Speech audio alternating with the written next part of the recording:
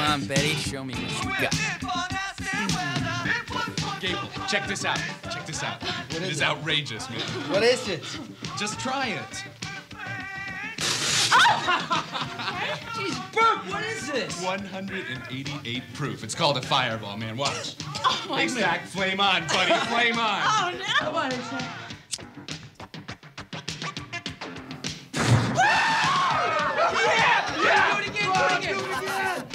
Again.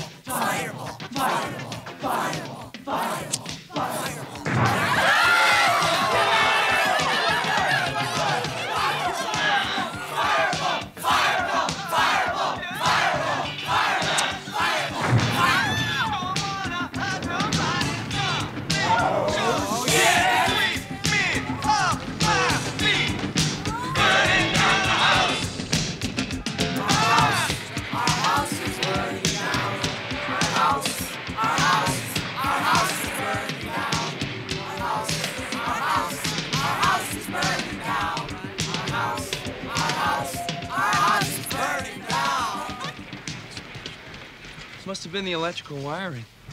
That isn't what the fire department thinks, Stan. Dean Ulich, if my boys say it was the wiring, I gotta believe them.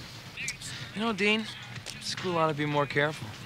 Dean, we got a big game coming up, and I don't want my boys' minds worried about where they're gonna live.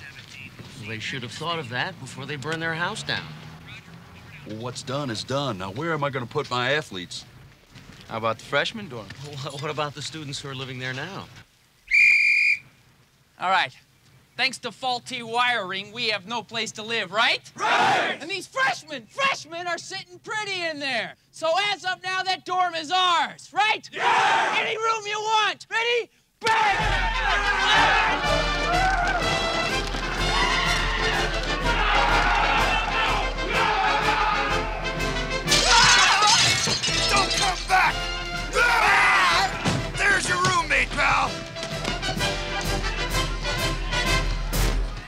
If everyone follows directions, we can manage this move with as little inconvenience as possible. All right, man, I want everybody to listen up. We're moving out, and I mean now. Move